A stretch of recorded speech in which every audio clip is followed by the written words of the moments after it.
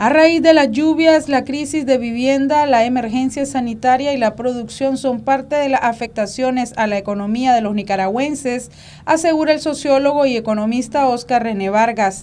La lluvia ha afectado más que más a la población, a la población pobre, a la que no tienen vivienda adecuada.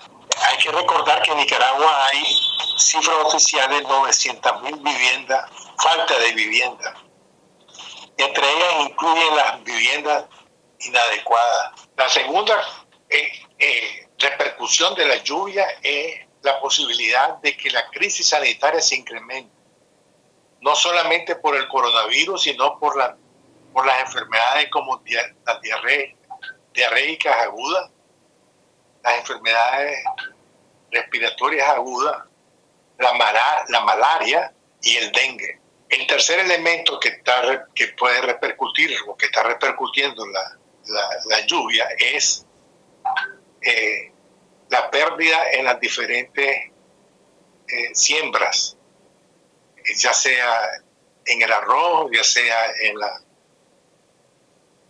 en, el, en el maíz, en los frijoles, en las hortalizas, etcétera. Es decir, que el, y también la pérdida de, de, eh, de que la gente va, va, a perder su la autosuficiencia, es decir, que muchos campesinos siembran para su propio consumo en general. Y todo ello implica un incremento de la pobreza. Vargas también dijo que Nicaragua se encuentra ya en una depresión económica. Bueno, desde el punto de vista técnico, estamos ya en la depresión económica. Después de 10 trimestres de, crecimiento negativo y, después de que haya un decrecimiento acumulado mayor del 10%, podemos hablar técnicamente que el país ha entrado en una depresión económica. Esto significa mayor eh, mayor desempleo, mayor eh, eh, fuente de divisa, fuente, perdón, de, trabajo que, eh, que, se van a perder.